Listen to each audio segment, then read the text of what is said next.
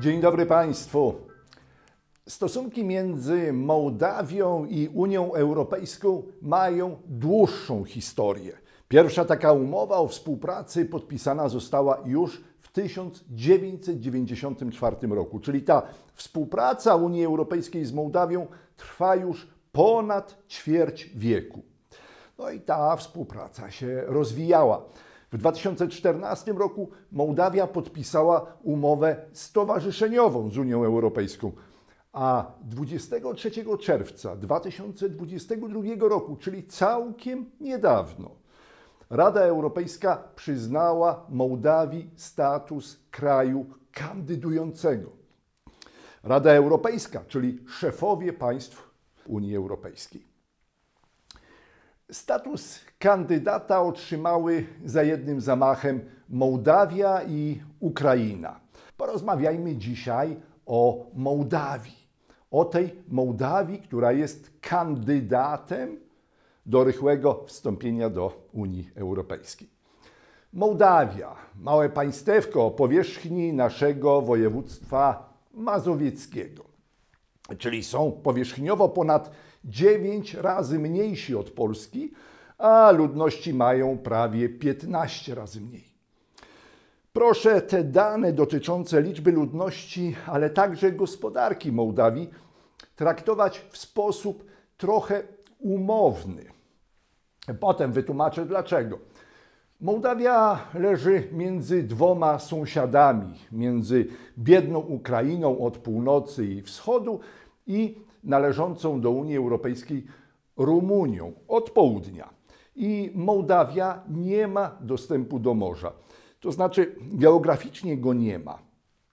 Ale w tym najwęższym miejscu odległość do morza wynosi 2 km. I Mołdawianie mogą nacieszyć się widokiem morza. I mogą nawet temu morzu pomachać ręką. Halo, morze, nie mamy do ciebie dostępu. Mołdawia geograficznie dostępu do morza nie ma, ale gospodarczo ten dostęp jakby ma, bo w miejscowości Dżurdżuleszti Mołdawianie wybudowali terminal naftowy i taki port śródlądowy.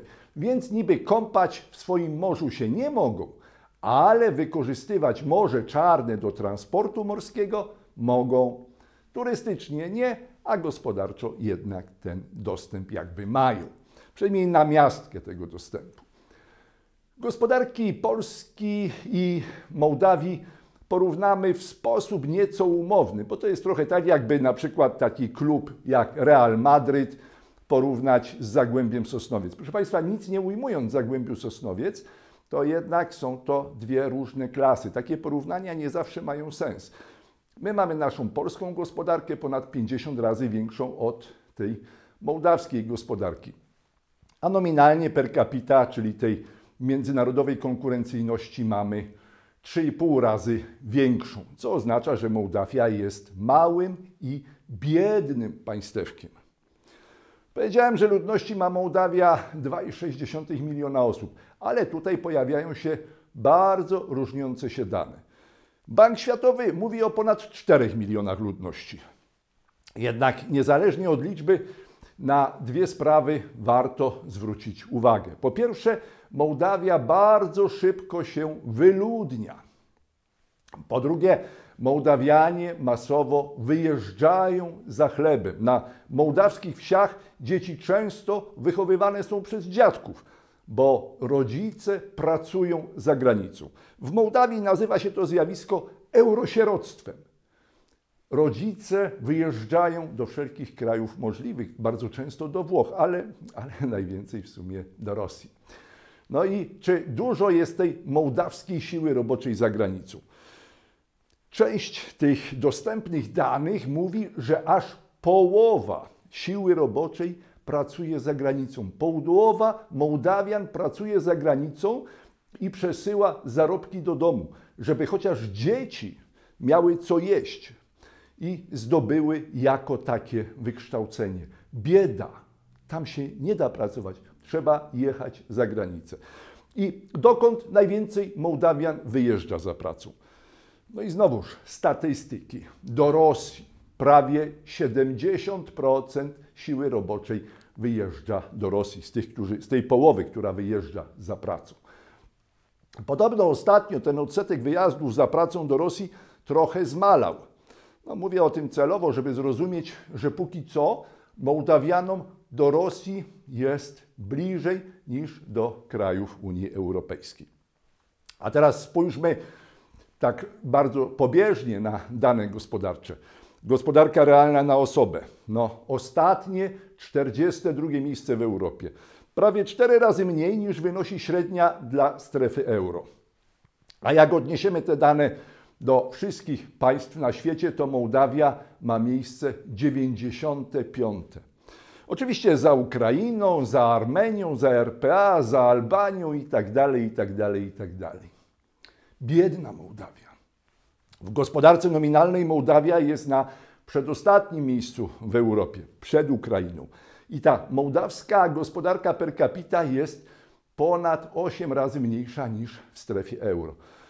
Ponad 8 razy mniejsza na osobę. Ale jak już te dane odniesiemy do wszystkich państw na świecie, to będzie to miejsce 99.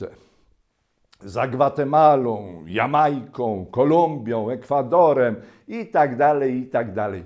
Bieda, mołdawska bieda. Bilans handlowy. I znowuż w Europie miejsce przedostatnie, 41. Ale jak popatrzymy w dłuższym okresie czasu, to Mołdawia ma stale ujemny bilans handlowy. Ujemny bilans handlowy, czyli stale więcej importuje niż eksportuje. No, nie ma co sprzedawać. Potrzebuje produktów, żeby ludzie mogli jakoś godziwie przeżyć, ale sama nie ma produktów, które byłyby konkurencyjne za granicą, przynajmniej nie w tej ilości. Czy da się w ten sposób stale postępować z tym ujemnym bilansem? No nie da się. Takie sztuczki robią tylko Stany Zjednoczone, pokrywając deficyt sprzedażą swojej waluty. Ale każdy inny kraj za ten zwiększony import musi zapłacić zadłużeniem albo emisją pieniądza.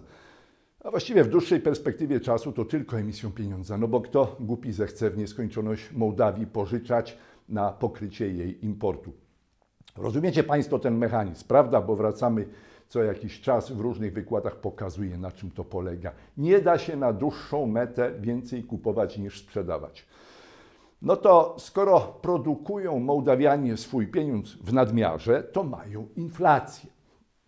Widać to tutaj, prawda? W maju 2022 roku inflacja u nich osiągnęła poziom 29,1%. Ale wcześniej też mieli podwyższoną inflację. Można powiedzieć, że Mołdawia miała sukces, jeśli jej się udawało osiągnąć inflację równą dwa razy maksymalny poziom strefy euro. Jeśli te europejskie normy inflacyjne przekraczali tylko dwukrotnie, to nazywali to sukcesem. No cóż, w każdym kraju są inne standardy, a u nich jeszcze do tych standardów europejskich jeszcze dużo brakuje. Z długiem publicznym się uporali, bo pod koniec lat 90. to było nawet 160% PKB. No to w ogóle jakiś kosmos powinni zbankrutować. Ale ten dług jest, prawdę powiedziawszy, tutaj ten obecny podejrzanie mały. W mojej ocenie bardziej wskazuje to na słabość sektora finansowego. Potrzeby w kraju, choćby w zakresie energetyki mołdawskiej, są ogromne, ale inwestycje nie są podejmowane. Znowuż z braku środków. Jak widzimy takie małe zadłużenie i niepodejmowanie budowy nowych elektrowni, no to trzeba sobie uzmysłowić, że gdzie jest ta granica, gdzie inwestorzy mówią więcej nie pożyczymy. No i proszę spojrzeć na oprocentowanie tych obligacji skarbowych. Gigantyczne. Średnio to widać, że jest to gdzieś 12-15%. No, kogo stać na to, żeby tak, tak wysoko oprocentowywać obligacje? To bardzo dużo kosztuje. Mają wysoką inflację i w konsekwencji wysokie oprocentowanie obligacji. No, ponoszą duże koszty. I na końcu kurs mołdawskiej waluty. Proszę spojrzeć. 10 lat temu to było na poziomie 12 tych lei mołdawskich za dolara. Potem szybko skoczył ten kurs na 20 lei za dolara. Ten wykład nagrywany jest 30 czerwca i kurs wynosi 19,1 lei za dolara. Po prostu mołdawska leja traci na wartości w stosunku do dolara i to sporo traci. O, tu jeszcze spójrzmy przebieg z ostatnich dwóch lat. Wartość dolara wzrosła z 16 na 19 lei. Licha ta gospodarka, no i licha ta waluta. To, co tu opowiedzieliśmy o bilansie handlowym, inflacji, oprocentowaniu długu publicznego, deprecjacji pieniądza, no to są wszystko wartości powiązane i wzrost eksportu powinien rozwiązać problemy Mołdawii. Tyle, że tyle, że Mołdawia ma bardzo mały eksport. Im mniejsza gospodarka, tym łatwiej jest osiągnąć dobry wynik eksportowy w stosunku do PKB. A mimo to Mołdawia znowuż jest niemal na końcu Europy. Eksport za zaledwie 3,1 miliarda dolarów. No tyle, tyle co kod napłakał. Co eksportuje Mołdawia? No spójrzmy, tu widzimy produkty roślinne, żywność, tekstylia, no i troszkę maszyny. Ale przede wszystkim jest to żywność i produkty proste. No i warto zwrócić uwagę na mołdawskie wina. Z win Mołdawia słynie. Sprzedaje tych win, no proszę znowuż spojrzeć, na niewielką sumę, bo to tylko 147 milionów dolarów. Dużo to nie jest, no ale jak na taki biedny kraj, to ta, nawet ta ilość sprzedawanych win jest znacząca. Te mołdawskie wina idą głównie, o, widzimy tu do, na Białoruś, do Rumunii, do Czech, Rosji, Polski. Do tych pięciu krajów idzie prawie 60% win. No i jeszcze 4% na Ukrainę. A to znaczy, że w większości są to wina raczej tanie. Mówię w większości. 83% mołdawskiego eksportu idzie do krajów europejskich. No, w sumie to bardzo dobry prognostyk do zjednoczenia gospodarki Mołdawii z Unią Europejską. Tyle, że Niemcy są dopiero trzecim w kolejności odbiorcą eksportu. Większym od Niemiec jest m.in. Rosja. Ten brak przełożenia na Niemcy może stanowić znaczące utrudnienie w zjednoczeniu Mołdawii z Unią Europejską. A od strony importowej no, sytuacja jest bardzo podobna. Tyle, że ta mołdawska gospodarka jest coraz, coraz prostsza, coraz bardziej prymitywna, coraz mniej w tej gospodarce jest technologii. Za to coraz więcej rolnictwa i produktów odzieżowych. Regres. Po prostu gospodarczy regres. Oni się cofają. Mołdawia to maleńka gospodarka związana z Europą. Związana jest z Europą, ale, ale proszę Państwa, korupcja. Bardzo wysoka korupcja. Kontrola korupcji, miejsce 40 w Europie. O skali tej mołdawskiej korupcji niech świadczy fakt, że w roku 2014 z sektora finansowego Mołdawii, uwaga, wyparowało miliard dolarów. Z sektora finansowego zniknęło miliard dolarów, czyli jedna siódma mołdawskiej ówczesnej gospodarki. Zniknęło miliard dolarów. Wszyscy zrobili wielkie oczy i nic. Kto miał dostać kasę, to ją dostał, a resztę się zamiotło pod dywan. Nie zostało nic wyjaśnione. Tematu nie ma. To zamiatanie pod dywan to normalna praktyka w Mołdawii. Kontrola korupcji. No, jak zechcemy ten ranking rozciągnąć na cały świat, to Mołdawia ma dopiero miejsce 129. A to oznacza, że w Mołdawii nikt korupcji nie kontroluje. Albo lepszym byłoby określenie, że korupcja jest zrośnięta na trwałe z mołdawskim gospodarowaniem. Posmarujesz, pojedziesz, a jak nie posmarujesz, to masz pecha i nie pojedziesz. Znowuż postrzeganie korupcji. Bardzo podobna sytuacja. Dla Mołdawian korupcja jest czymś normalnym. Korupcja jest tak niezbędna w gospodarce, jak powietrze do oddychania w normalnym życiu. Korupcja w Mołdawii jest częścią krwiobiegu gospodarczego. Będziemy o tym mówić. No ale wskaźnik rozwoju społecznego. Znowuż ostatnie miejsce w Europie. A to oznacza, że nie tylko gospodarka jest słaba, ale także i szkolnictwo jest bardzo słabe, i ochrona zdrowia jest bardzo słaba. Generalnie najsłabsze w Europie warunki do życia. A na świecie jest to miejsce 87. Daleko nawet za Ukrainą. No, gdzieś między Azerbejdżanem i Algierią.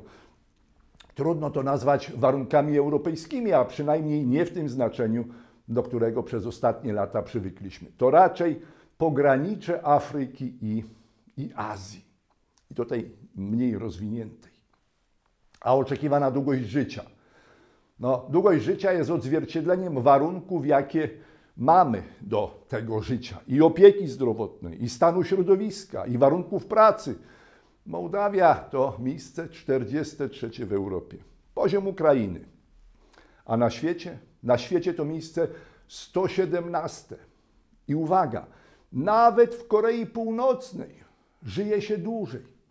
I w Libii żyje się dłużej, i w Syrii żyje się dłużej, i w Bangladeszu.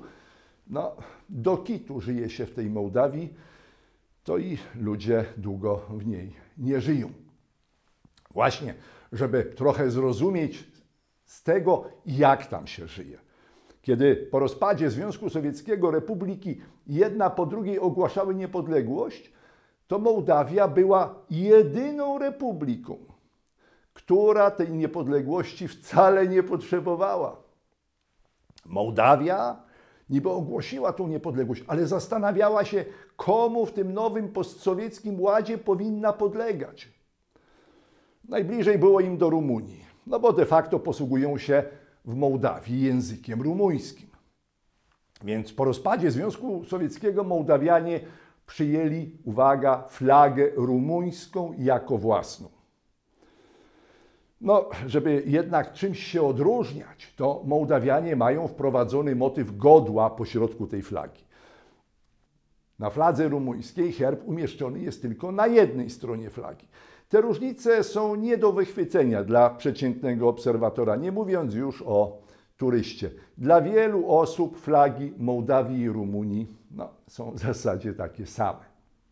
Język rumuński jest językiem urzędowym i w Rumunii, i w Mołdawii. A dodatkowo, no, ten kolejny symbol Mołdawii, hymn. Do 1994 roku Rumuni i Mołdawianie mieli ten sam hymn. To była pieśń Przebudź się Rumunie.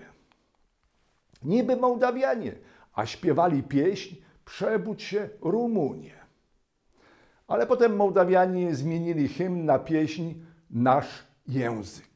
No a język mołdawski to przecież znowuż to język rumuński. Niektórzy mówią, że to niby dialekt rumuńskiego, ale dla normalnego obserwatora jest nie do odróżnienia.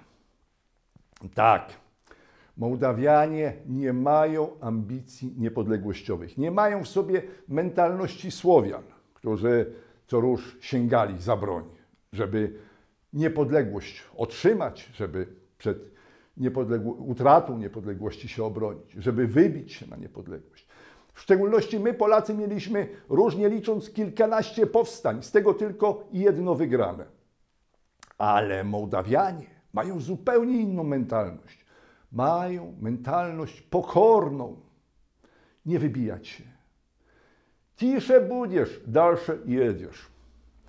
My śpiewamy w naszym hymnie Jeszcze Polska nie zginęła, a Mołdawianie mają swoje narodowe porzekadło Pochylonej głowy miecz nie zetnie. Pochylonej głowy miecz nie zetnie. I mają swoją narodową balladę Miorica. Miorica, czyli jagniątko. Ballada o pasterzu, na którego nastają pasterze z Węgier i z Bukowiny.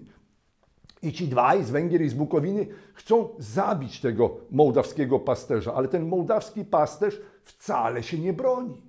Ani nie walczy, ani nie ucieka. No cóż, po prostu ten mołdawski pasterz godzi się z losem i tylko prosi, żeby pochować go przy jego owieczkach. Taki pokorny pasterz, taki pokorny mołdawski naród. Ten utwór poetycki, Ballada Mijorica, omawiany jest jako lektura obowiązkowa w mołdawskich szkołach. I to kilkakrotnie na różnych poziomach. A dwa pierwsze wersy tej ballady są na każdym mołdawskim banknocie. Każdy Mołdawianin nosi te wersy w kieszeni i czyta je przy każdej płatności gotówkowej. Tacy z nich pogodzeni z losem pasterze, pokorni ludzie, Mołdawianie, pokorni. Pochylonej głowy miecz nie zetnie.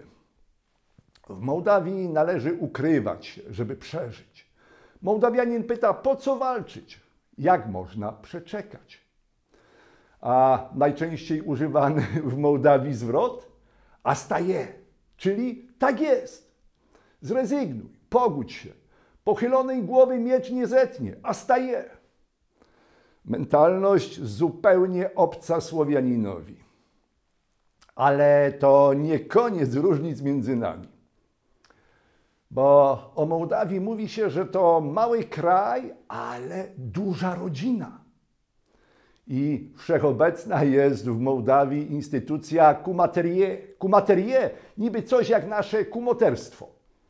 Tyle, że nasze kumoterstwo jest takie bardziej symboliczne, a u nich to trochę przypomina sycylijską mafię. I w tej, nazwijmy, mołdawskiej mafii występują na nasze i Finowie. Kiedy młodzi wstępują w związek małżeński, to wybierają sobie jednego albo kilku takich na naszy, takich ojców chrzestnych, którzy będą ich w życiu wspierać. Ale w zamian za wsparcie na naszy, młodzi, czyli Finowie, są im posłuszni. Posłuszni w każdej sytuacji. No, dosłownie jak w sycylijskiej mafii. Ta instytucja mołdawskiego kumatrie jest ponad prawem. Na nasz wspiera Fina, ale na naszowi należy się od Fina posłuszeństwo. I Fin realizuje cele na nasza. Więź między na naszym i Finem jest silniejsza niż powinności względem państwa. Jest silniejsza niż przestrzeganie prawa. Od taka mołdawska specyfika. Kumaterie mołdawska mafia, ale wszechogarniająca. Religia w Mołdawii? No, w Mołdawii dominującą religią jest prawosławie, ale wyznawców prawosławia w każdym badaniu jest ponad 90%. Z tym, że mołdawskie prawosławie dzieli się na dwa różne kościoły autokefaliczne. Do kościoła, uwaga, rosyjskiego należą w Mołdawii 1194 parafie, a do kościoła rumuńskiego należą 124 parafie. Czyli 10 razy więcej parafii należy do kościoła rosyjskiego. To jest dosyć ważne, bo wśród Mołdawian praktycznie nie ma osób, które deklarowałyby obojętność na sprawy religijne. Chodząc do cerkwi, Mołdawianie słuchają głosu z Moskwy no, nie mają swojego mołdawskiego kościoła.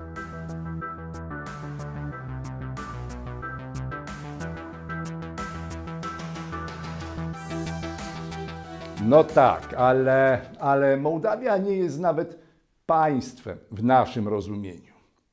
Dlatego nie jest państwem, bo jest wewnętrznie podzielona politycznie podzielona. To jest bardzo ważne. Na południu Mołdawii żyją ludy tureckojęzyczne i mają swoją autonomię. Ta autonomiczna enklawa Gagauzji obejmuje kilka obszarów o powierzchni ponad 1800 km2. To tak jakby u nas powiat zamojski ziemski, ale bez samego miasta Zamościa. Powierzchnie są zbliżone, tyle że w Mołdawii jest to w kilku kawałkach. Taki powiat zamojski w kilku kawałkach. Ludnościowo ta turecka enklawa jest nieco liczniejsza niż powiat zamojski. I Gagauzja najpierw w 1990 roku ogłosiła niepodległość, ale po czterech latach została włączona do Mołdawii jako autonomia. Tak, te dwie jednostki, powiat zamojski i autonomia Gagauzji, są podobne. Tyle, że 98% mieszkańców Gagauzji chce zjednoczenia z Rosją. Ta turecka autonomia wyznająca prawosławie jest bardzo mocno prorosyjska. Nie chcą należeć do Mołdawii, za to chcą do Rosji. 98% mieszkańców Gagauzji mówi: chcemy zjednoczenia z Rosją. Ale na tym nie koniec tej mołdawskiej specyfiki, bo po lewej stronie rzeki Dniestr mamy tak zwane Naddniestrze. To ten obszar zaznaczony tutaj w kolorze ciemnożółtym. Naddniestrze ma powierzchnię połowy naszego najmniejszego województwa, a zamieszkuje je niecałe 350 tysięcy mieszkańców. Jeszcze całkiem niedawno podawano niemal 450 tysięcy mieszkańców. Ale te procesy wyludniania postępują bardzo szybko, bardzo dynamicznie. 350 tysięcy mieszkańców, czyli nieco ponad 1 trzecia mieszkańców Opolszczyzny. Ludność Naddniestrza, no i proszę popatrzeć, bardzo wymieszani. 29% to Rosjanie, 22% to Ukraińcy, czyli no jakby nie spojrzeć, ponad połowa to Słowianie. I obecnie te dwa narody, Słowia, y, Ukraińcy i Rosjanie, są w stanie wojny. I Naddniestrzanie ciągną do Rosji. Mentalnie do Rosji, ale nie do poddaństwa Rosji. No bo Słowianie nie lubią poddaństwa. Ale mentalnie ciągną. Oni się czują bardzo związani z Rosją. Na czym polega specyfika tej lewobrzeżnej Mołdawii, tej rosyjskiej Mołdawii, czyli Naddniestrza? No, proszę zwrócić uwagę, flagę mają jeszcze z czasów Związku Sowieckiego, e, ale jako oficjalnej używają także flagi rosyjskiej. I obie te flagi funkcjonują w Naddniestrzu obok siebie, w pełnej symbiozie. Język, no, mają w Naddniestrzu trzy języki urzędowe: rosyjski, ukraiński i rumuński, czyli jak kto woli, mołdawski rumuński, mołdawski. W praktyce najczęściej rozmawia się w Naddniestrzu, uwaga, po rosyjsku. Alfabet mają rosyjski, czyli cyrylicę, a waluta w Naddniestrzu, no, naddniestrzański rubel. W zasadzie ma to Naddniestrze wszystkie przymioty państwa, ale państwem nie jest. A przynajmniej nie jest uznawane przez inne państwa. Naddniestrze, czyli taka Mołdawska Ruś. A po prawej stronie mamy tę bardziej rumuńską Mołdawię. Ludność tej prawobrzeżnej Mołdawii, tej rumuńskiej, 3 czwarte to Mołdawianie, 7% to Rumuni. I ci z kolei chcą się poddać Rumunii. Ci po lewej stronie chcą do Rosji, a ci po prawej chcą do Rumunii. Najlepiej, żeby nie mieć własnego państwa i móc się poddać pod panowanie innych. Oficjalnie państwo Mołdawia, czyli prawobrzeżna rumuńska Mołdawia i lewobrzeżna rosyjska Mołdawia, żyją w symbiozie. Nie ma między nimi wrogości, za to jest współpraca. Dlaczego jest współpraca? Co te dwa państwa łączy? Właściwie kraje, byśmy powiedzieli, łączy. Najpierw to, że oba są takimi krajami czy państwami korporacyjnymi. Państwa duże, takie jak Rosja czy Ukraina, mają swoich oligarchów, a państwa małe, takie jak Mołdawia czy Naddniestrze, są, uwaga, własnością oligarchów. Prawobrzeżna Mołdawia, czyli ta rumuńska Mołdawia, należy do Wlada Płachotniuka Czasami występuje jako Władimir Płachotniuk. Czytam jego życiorysy i często podaje się, zaczynał od, od domów publicznych i od sprzedawania prostytutek na zachód, młodych dziewczyn, handel żywym towarem. Potem prywatyzował gospodarkę z komunistami, którzy byli u władzy, a kiedy zmieniły się nastroje polityczne, stał się sponsorem Partii Demokratycznej i de facto kupił sobie Partię Demokratyczną. Kupił. A potem ta partia weszła do koalicji rządzącej, a Płachotniuk zagwarantował sobie osobiście kontrolę nad prokuratorem i nad sądownictwem, skupował media, zbudował holding medialny. Wszystkich konkurentów biznesowych i politycznych powsadzał do więzień. I od roku 2015 jest szarą eminencją gospodar mołdawskiej polityki. Rumuńska Mołdawia należy do Wlada Płachotniuka. Płachotniuk rządzi rumuńską, tą, jak powiedziałem, prawobrzeżną Mołdawią, jak jedynowładca. Dzięki instytucji kumaterie, tej, o której mówiliśmy, tego kumoterstwa, ma wielu takich Finów. Dla wielu jest tym ojcem chrzestnym. I tych Finów, którzy są mu oddani. Oddani nawet jeśli trzeba łamać prawo. Oddani mu są ponad prawem. I każdy w Mołdawii o tym wie, bo to żadna tajemnica.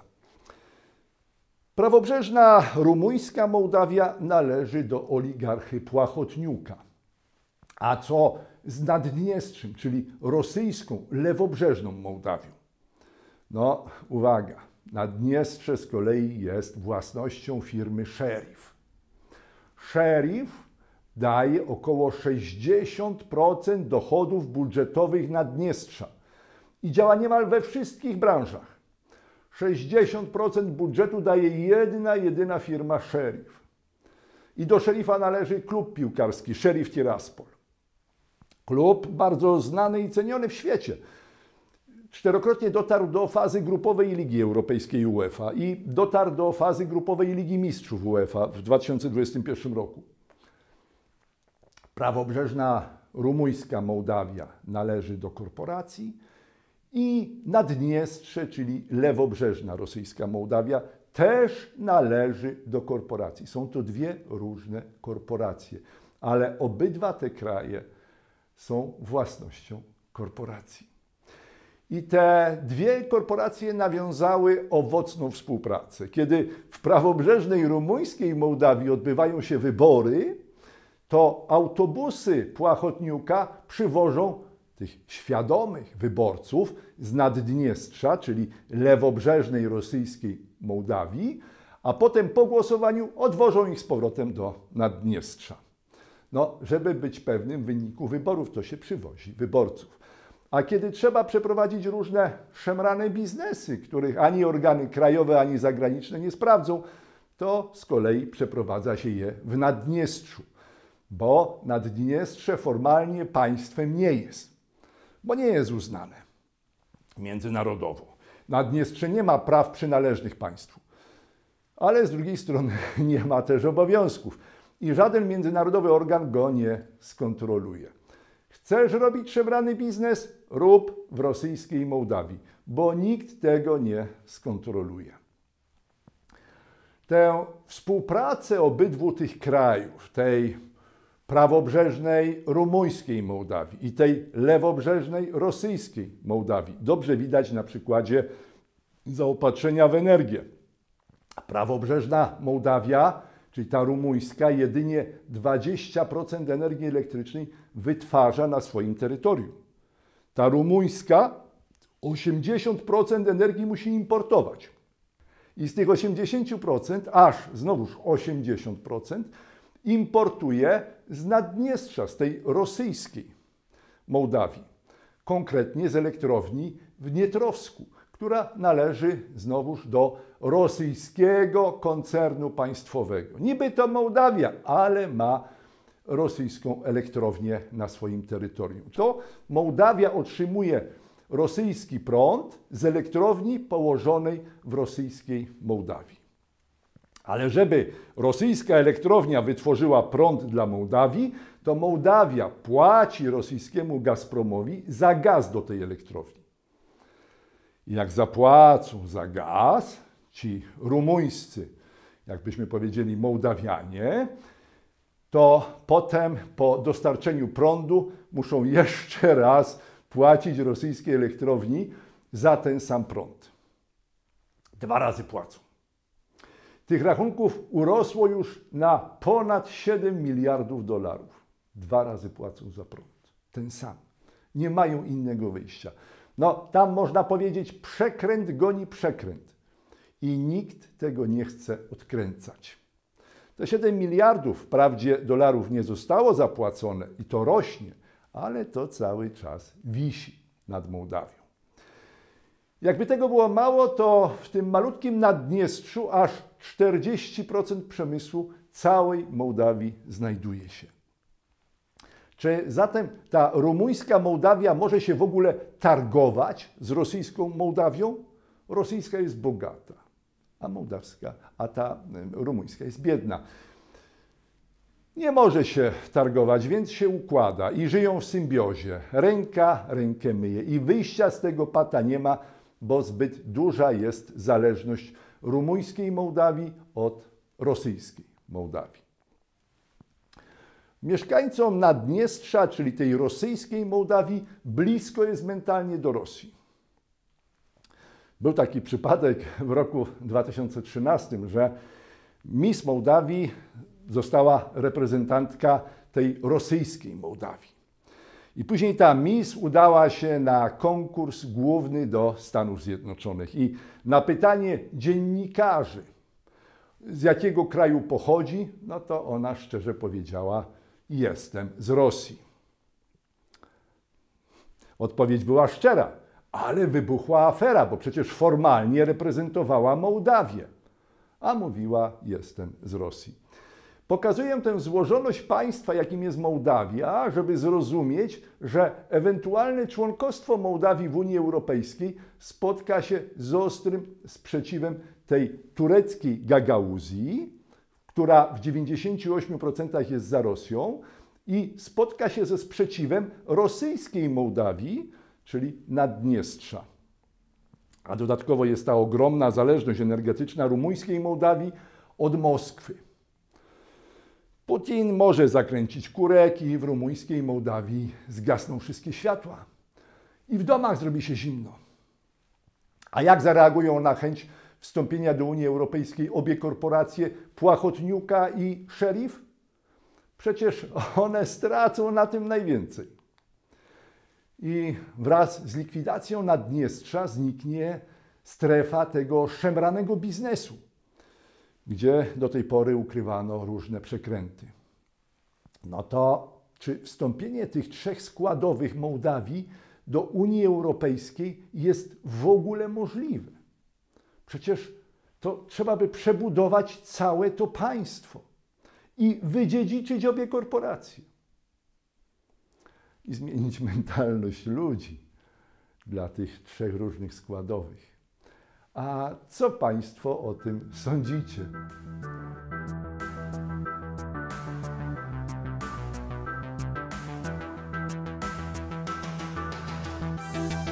Ale żeby zrozumieć współczesność Mołdawii, to warto cofnąć się troszkę w historii. Początki Mołdawii łączy się z powstaniem gospodarstwa mołdawskiego w 1359 roku. Początki były dobre, ale, ale bardzo szybko popadło to gospodarstwo mołdawskie w zależność od Polski. I już od 1387, czyli po niecałych 30 latach od powstania.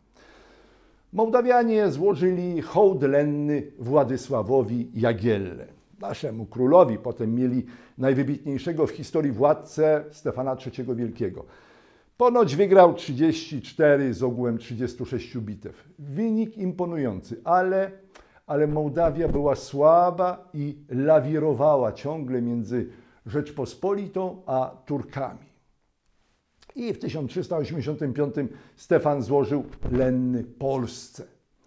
Ale już dwa lata później poddał się Turkom jak tak zebrać do kupy te pięć wieków gospodarstwa mołdawskiego, to były to do, dokładnie lata 1359-1859, dokładnie pięć wieków, niemal co do roku.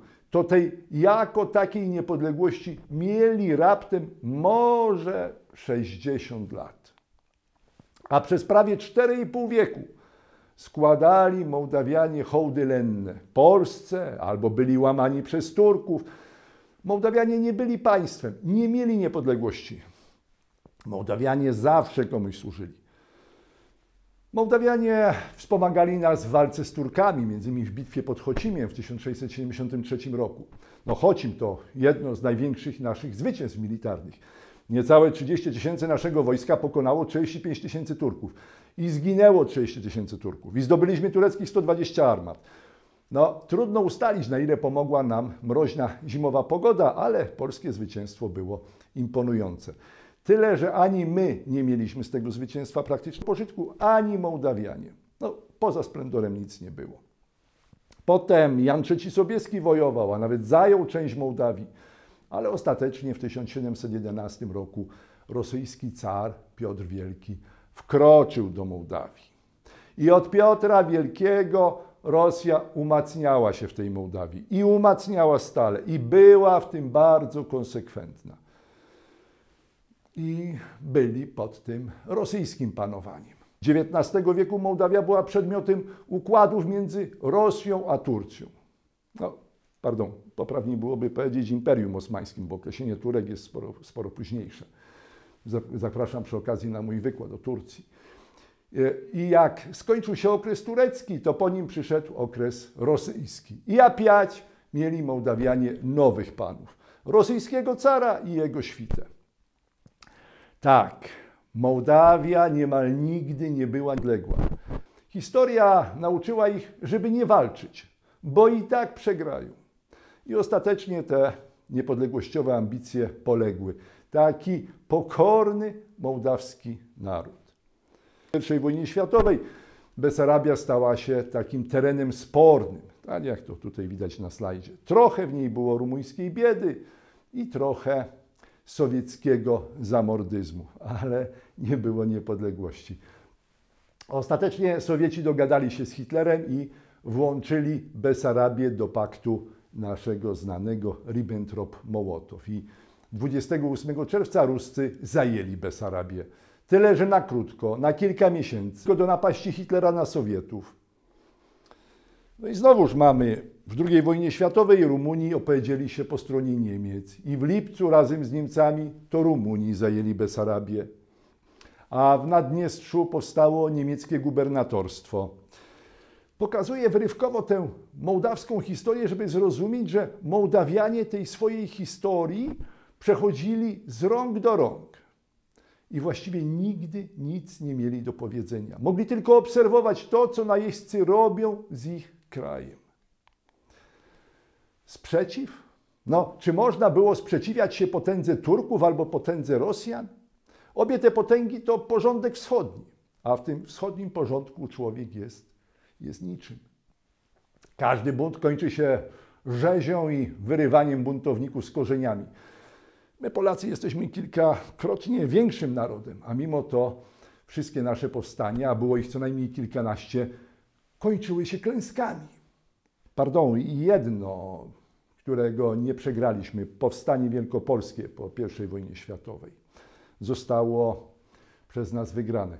Ale Mołdawian zawsze było kilka razy mniej niż nas Polaków, więc nawet się nie porywali a Naddniestrze w czasie II wojny, czyli to, ta, to, ta rosyjska Mołdawia. No Niemcy utworzyli tam gubernatorstwo Naddniestrza. I uwaga, Rumunii współdziałali z Niemcami i przypisuje im się odpowiedzialność za Holokaust Żydów, Rumunom. Podobno żyło ich tam do 280 tysięcy. I Rumuni utworzyli w Naddniestrzu obozy koncentracyjne i wymordowali tych Żydów podobno około 90 tysięcy. Te liczby w różnych źródłach różnią się nieco między sobą. To jest wschód Europy, te dane nie zawsze były skrupulatnie sprawdzane. W rumuńskiej Mołdawii i Naddniestrzu, czyli rosyjskiej Mołdawii, do tej pory pamięta się Rumunom ich rolę w masowym mordowaniu Żydów w Holokauście. Po II wojnie światowej cały ten region przypadł w podziale zysków Sowietom. I to Sowieci okroili tę Rumunię według swojego widzimisię. Takie jest prawo każdego zwycięzcy. Ale w końcu spójrzmy na gospodarkę. Tu mamy rok 1973. Zachodowi Europy wszyscy ustępowaliśmy znacznie. Tu widzimy na przykładzie Niemców. Niemcom żyło się dwa razy lepiej niż nam, Polakom ale do Niemiec ten ruski czy turecki mir nigdy nie dotarł i się nie zadomowił. Ale jak spojrzymy na państwa tego sowieckiego mira, tego naszego obozu, to proszę zobaczyć. Mołdawię zaznaczam zawsze na czerwono. W Mołdawii żyło się lepiej niż w Polsce. My mieliśmy naszego Gierka, który w tym sowieckim mirze znajdował furtki, żeby rozwijać gospodarczo, a Mołdawia rozwinęła się jeszcze lepiej od nas. Mołdawia była lepiej rozwinięta, żyło się lepiej, widać to, prawda? A potem mamy dekadę lat 80. Mołdawianie byli wyraźnie lepsi od nas. U nas Jaruzelski dzielnie bronił sowieckiego miru, a oni nas wyprzedzali gospodarczo i to znacznie. Wprawdzie mieli załamanie w połowie lat 80., ale nadal byli lepiej rozwinięci od nas. I dopiero z nastaniem lat 90. zaczął się w Mołdawii upadek gospodarczy. Zaczął się wraz z upadkiem Związku Sowieckiego. Dopóki istniał, dopóki istniał Związek Sowiecki, to Mołdawianie byli piękni i bogaci. Ale razem z upadkiem Związku Sowieckiego spadli w przepaść. Tu mamy ten proces pokazany w detalach. Proszę zauważyć, że spadek mołdawskiej gospodarki wynosił, uwaga, 70%. To jest niewyobrażalnie dużo. 70% spadku. I pomimo upływu niemal trzech dekad ta mołdawska gospodarka nie potrafiła się odrodzić. No widać, idzie cały czas po dnie. Albania zawsze była najbiedniejsza w naszym obozie, no bo albański Enver Hoxha wolał budować schrony zamiast rozwijać gospodarkę. Ale potem Albania prześcignęła Mołdawię. I biedna Ukraina prześcignęła Mołdawię. I kiedy skończył się mecenat Związku Radzieckiego, to razem z nim zakończył się gosprobyt Mołdawii. Dla Mołdawii Związek Radziecki, szczególnie dla tej części zadniestrzańskiej, kojarzył się z rozwojem i dobrobytem. Związek Radziecki odszedł i została smutna mołdawska bida. I z tej bidy przez 30 lat nie mogą się uwolnić, nie mogą wyjść. W 1990 Mołdawia była lepiej. Mołdawii żyło się lepiej niż u nas w Polsce, ale od tego czasu w przeliczeniu na głowę mieszkańca nasza gospodarka wzrosła o 227%, a ich gospodarka spadła o 31%. W praktyce oznacza to, że pomimo tego ogromnego wyludnienia, o którym mówiliśmy na początku, to ich gospodarka liczona na głowę mieszkańca jest o jedną trzecią gorsza niż była za komuny. O jedną trzecią. Dramat. Mówię o tym, żeby zrozumieć, że nie każdemu komuna i reżim kojarzą się z czymś złym. Jest sporo obszarów, które dobrze wspominają ten sowiecki mir. Dziś już nie ma Sowietów, ale na to miejsce powstało pojęcie ruskowo mira. W ruskom mirie ludzie byli процветающими. Ludziom żyło się dobrze. Все работали, все byli довольны. Wszyscy byli szczęśliwi. To te określenia pokutują jeszcze w tym obszarze ruskowo mira do dzisiaj. Trzeba rozumieć, że na terenach byłego Związku Sowieckiego żyją dwie kategorie ludzi. Żyje ruski, czyli taki etniczny Rosjanin, i żyje Rosjanin, czyli ten, kto dobrze wspomina dawne czasy. Choć często ten Rosjanin wcale ruskim nie jest. I ci Rosjanie marzą o ruską mirię. Marzą, żeby przejść pod skrzydła Rosji. Proszę czasem popatrzeć na dane gospodarcze i starać się zrozumieć ich punkt widzenia. Dla nich to, co dobre, było kiedyś i się skończyło. Oni nie są Rosjanami. Czyli nie są tymi ruskimi, oni są tymi Rosjaninami, czyli tymi, którzy byli obywatelami tamtego państwa. I oni bardzo dobrze tamten okres wspominają, bo tamten okres dla nich wiązał się z dobrobytem. Gospodarka jest zawsze kluczem do zrozumienia innych. Ludzi zawsze ciągnie do dobrobytu. I to trzeba mieć na uwadze.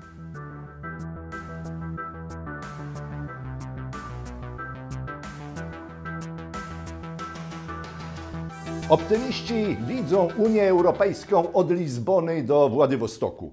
Wszak rządzą na tym terenie Europejczycy, chrześcijanie. Teoretycznie więcej nas powinno łączyć niż dzielić. Tak przynajmniej było do czasu rosyjskiej inwazji na Ukrainę. Mieliśmy tą wspólnotę kulturową. Jakby. Niektórzy wizjonerzy postrzegają Unię Europejską jak nowe cesarstwo rzymskie zachodnie i wschodnie, czyli stare i nowe kraje Unii Europejskiej. Jeszcze niedawno mówiło się nawet o Europie dwóch prędkości. Tej szybkiej, zachodniej Europie i tej wolniejszej, wschodniej Europie. Mówiło się także o Europie wielu prędkości. Dużo się w tej Unii Europejskiej działo, pomimo krytyki, jaka na nią samą spadała. Kraje biedne zawsze się chciały znaleźć wśród członków Unii Europejskiej w nadziei na włączenie do wspólnego rynku i poprawę konkurencyjności własnych gospodarek. A kim są dzisiaj te biedne, kandydujące kraje? Obecnie siedem państw posiada oficjalnie status kandydata. No, Turcja od 1999 roku, przynajmniej oficjalnie. Potem bałkańskie, Macedonia Północna, Czarnogóra, Serbia, Albania, a ostatnio także od drugiej połowy czerwca Mołdawia i Ukraina. Turcja była członkiem stowarzyszonym od 1963 roku. Formalną aplikację złożyła w roku 1987. Opóźnione negocjacje rozpoczęły się dopiero w 2005 roku.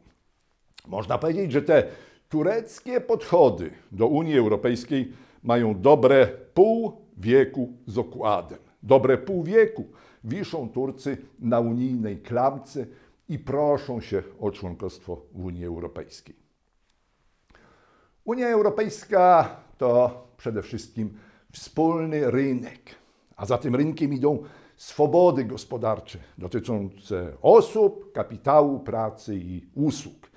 Ale Unia Europejska to także, albo może przede wszystkim, interes dla każdej ze stron.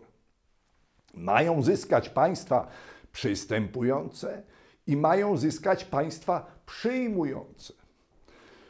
Gdyby nie było obustronnych korzyści, to by nie było rozszerzania. Gospodarcze korzyści muszą być zawsze. Wtedy są zainteresowani w tym procesie. Standardy negocjacyjne opracowane zostały w 1993 roku i nazwano je kryteriami kopenhaskimi. W ten sposób można no, zobiektywizować decyzyjność państw przyjmujących. Wiecie, rozumiecie, my byśmy was przyjęli, ale kryteria kopenhaskie nie pozwalają, no i dalej negocjujemy w sumie w nieskończoność, tak jak to jest robione w tej chwili z Turcją. Pochylmy się wspólnie nad bilansem przystąpienia tych nowych kandydackich siedmiu państw do Unii Europejskiej. Najpierw, jaka jest jakość tych siedmiu gospodarek, czyli PKB per capita. Proszę zauważyć, że poza Turcją to te kandydujące gospodarki są ostatnimi w Europie. To jest ta europejska biedota. Jeszcze niedawno my tam byliśmy, więc my Polacy powinniśmy rozumieć te ich aspiracje, a nawet im pomagać. Ale teraz dokonujemy gospodarczej analizy, więc spójrzmy bardziej chłodnym okiem. Później będzie polityczna. Przychodzi biedota. No, trzeba będzie sporo w krótkim czasie zainwestować, żeby doszli do naszego poziomu, żeby szybko zmieniali postrzeganie świata, żeby byli dla nas partnerami, a nie balastem. Bo póki co to są mentalnie pół wieku do tyłu. No i trzeba szybko zainwestować, żeby mogli być konsumentami wyprodukowanych w Unii Europejskiej dóbr, żeby ich było na te unijne dobra stać. Ale czy to są duże gospodarki? Czy będą wymagały dużych nakładów inwestycyjnych? No, poza Turcją i Ukrainą to są malutkie gospodareczki, więc poniesione nakłady nie będą specjalnie duże. Z tym sobie damy radę. Tak, jeśli chodzi o stronę gospodarczą, to ten proces jest do ogarnięcia. Wszystkie siedem w zasadzie możemy łyknąć. Z jednymi krajami bardziej sprawnie, a z innymi mniej sprawnie. Ale ten proces akcesji jest gospodarczo do ogarnięcia. Ale zdecydowanie trudniej jest ogarnąć rzeczywistość polityczną i społeczną. Bo Unia Europejska to także ludzie, a ludzie wybierają swoich polityków proporcjonalnie i ci politycy proporcjonalnie decydują w Unii Europejskiej. Popatrzmy, jak prezentują się te kraje pod względem ludnościowym. I tu już widzimy, że ludności w tych krajach jest sporo, sporo więcej niż wskazywałaby na to siła ich gospodarek. Gospodarczo to to jest końcówka europejskiego peletonu, ale ludnościowo to już grupa bliżej środka. A Turcja? Turcja byłaby ludnościowo numerem jeden w Unii Europejskiej, a Ukraina byłaby przed Polską. Czy to jest ważne? Owszem, bo w Unii Europejskiej liczba ludności przekłada się na siłę głosów i udział w unijnych instytucjach. Dziś mamy 751 europarlamentarzystów. Gdyby zastosować do tych krajów obecne kryteria, to Turcja miałaby co najmniej 96 tych parlamentarzystów europejskich. Co najmniej 96. Kraje bałkańskie miałyby co najmniej 49, a Ukraina z Mołdawią co najmniej 62 parlamentarzystów europejskich. W sumie decyzyjność nowych państw pod względem liczby parlamentarzystów i wpływów na podejmowane decyzje polityczne wynosiłaby co najmniej 22%. A dla porównania Niemcy, Francja i Włochy miałyby wspólnie 25%. Potencjał ludnościowy, czyli decyzyjny nowych państw, wynosiłby niemal tyle samo, ile łączne głosy trzech największych państw. Pokazuje to Państwu, żeby wzbudzić refleksję w przedmiocie realności czynionych obietnic członkostwa w Unii Europejskiej. Tych obietnic, które robią te trzy państwa Wielkiej Trójki, choćby w stosunku do Ukrainy i Mołdawii. Po przystąpieniu nowych państw od strony gospodarczej Unia Europejska niewiele się zmieni. Raptem te nowe państwa, te wszystkie siedem państw, wniesie niewiele ponad 6% obecnej gospodarki. I po połączeniu z obecną gospodarką unijną ich udział będzie wynosić niewiele ponad 5%. 5% to tyle, co Unia wypracowuje przez, no, przez dwa lata. Ale decyzyjność w Unii Europejskiej ulegnie rewolucji te trzy największe państwa, które dzisiaj mówią o członkostwie Mołdawii i Ukrainy, będą miały zaledwie jedną czwartą głosów. Trzy największe państwa, czyli Niemcy, Francja i Włochy, będą miały jedną czwartą głosów. Ale przecież gospodarka tych trzech państw to jest dobrze ponad połowę tej nowej unijnej gospodarki. Jedna czwarta głosów, jedna czwarta decyzyjności i ponad połowa realnej siły gospodarczej. A przecież to naturalne, że biedacy będą głosować, żeby bogaci podzielili się z nimi bogactwem. Biedacy no, w konsekwencji ograbią i zmarginalizują tę wielką trójkę Niemcy, Francję i Włochy. A jak spojrzymy historycznie na ten proces, to Unia Europejska powstała z Europejskiej Wspólnoty Węgla i Stali. I tworzyło tę Europejską Wspólnotę Węgla i Stali sześć państw. No poza wymienionymi Niemcami, Francją i Włochami były to kraje Beneluxu, Belgia, Holandia i Luksemburg. I ta Europejska Wspólnota Węgla i Stali miałaby w tej nowej Unii Europejskiej zaledwie 31% mandatów. To gospodarcze serce Unii Europejskiej miałoby mniej niż 1 trzecia gospodarczej czy politycznej decyzyjności. Przecież to się kupy nie trzyma. Jeśli gospodarcza decyzyjność przejdzie w ręce biednych, ta polityczna także, to niebawem wszyscy staną się biedni. Przecież to logiczne, że wszyscy sięgną po pieniądze, wyciągną ręce po pieniądze, a ci słabi będą decyzyjni. Podsumowując, jeszcze niedawno głośne były dysputy w Unii Europejskiej o braku europejskiej jedności i konieczności wprowadzenia różnych prędkości dla rozwoju gospodarczego Unii. Polska i część krajów Europy Wschodniej podążała jakoby zbyt wolno za wizjami europejskich, tych zachodnioeuropejskich polityków. Unia Europejska chciała pędzić z rozwojem gospodarczym do przodu, większa jedność, większa decyzyjność, a myśmy odstawali według nich. A myśmy szli za wolno według nich. Ta cała Europa Wschodnia praktycznie. A dziś Unia Europejska akceptuje kandydatury o, między innymi Ukrainy i Mołdawii, krajów, do których nie można zastosować żadnych prędkości rozwojowych. I w obu tych krajach są silne zaszłości tego ruskiego mira i tego sowieckiego mira. Na Ukrainie jest to część wschodnia, zamieszkała w większości przez Rosjan. Nawet niedawno miałem rozmowy z Ukraińcami, którzy tam mieszkali. Oni mówili, my rozmawiamy po rosyjsku w tej części wschodniej. Na dużej części Ukrainy jest nadal ten ruski mir. A w Mołdawii jest to mocno prorosyjskie Naddniestrze i wybitnie prorosyjska autonomia Gagauzji. W Naddniestrzu i Gagauzji jest, no, jest ruski mir, jest sowiecki mir. W gospodarce ukraińskiej dominują postsowieccy oligarchowie, a Mołdawia jest bezpośrednio własnością korporacji. A spora część mołdawskiej gospodarki realizuje się w nielegalnym Naddniestrzu, z dala od jakiejkolwiek kontroli i nadzoru.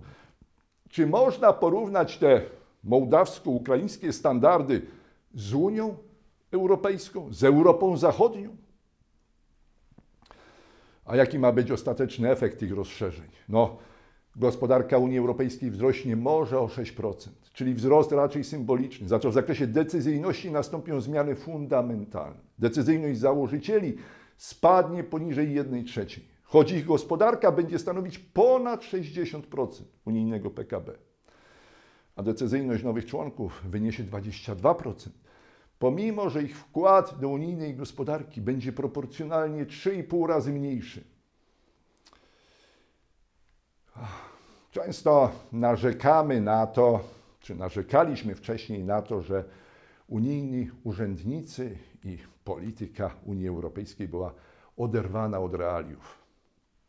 Ale czy to, co się obecnie dzieje, czy te deklaracje rozszerzenia i to objęcie rozszerzeniem Mołdawii i Ukrainy, czy to idzie w dobrym kierunku?